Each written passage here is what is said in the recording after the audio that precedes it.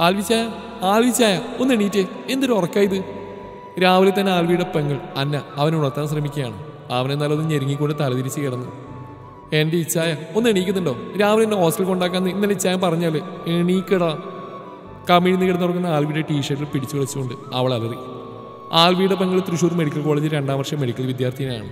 ഓണ വെക്കേഷൻ കഴിഞ്ഞ് ഇന്ന് ക്ലാസ് തുടങ്ങിയാണ് അവൾക്ക്.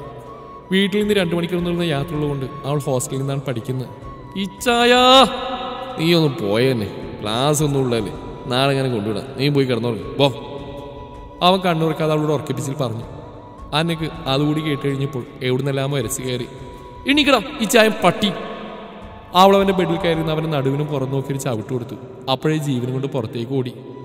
എന്റെ മാതാവേ നിക്കടി. അവൻ ദേഷ്യത്തോടെ നടുവിന് കൈ കൊടുത്ത് ബെഡിൽ നിന്ന് അലറി. ചായ വേഗം റെഡിയായി വാ. അല്ലെ പപ്പ ഞാൻ പറഞ്ഞു വിടും. അല്പം കഴിഞ്ഞപ്പോൾ ആമ തോടിന് പുറത്തേക്ക് താറിയിടുന്ന പോലെ ആൽവിയുടെ റൂമിലേക്ക് തലയിട്ട് അവൾ വിളിച്ചുകൊണ്ട് പറഞ്ഞു. ആൽവി അവൾ നോക്കി പല്ലുകടിച്ചിട്ട് ഫ്രഷ് ആവാനായി വാഷ്റൂമിലേക്ക് പോയി. അനകൊച്ചെ ഇനി എന്നാ വീട്ടിലേക്ക്? ഹോസ്റ്റലിലെത്തി അവളുടെ പെട്ടികൾ കാറിൽ നിൽക്കുന്ന ടൈമിൽ ആൽവി ചോദിച്ചു. അറിയില്ല ചായ? ഇനി ഇപ്പോഴെങ്ങും വരാൻ പറ്റില്ല.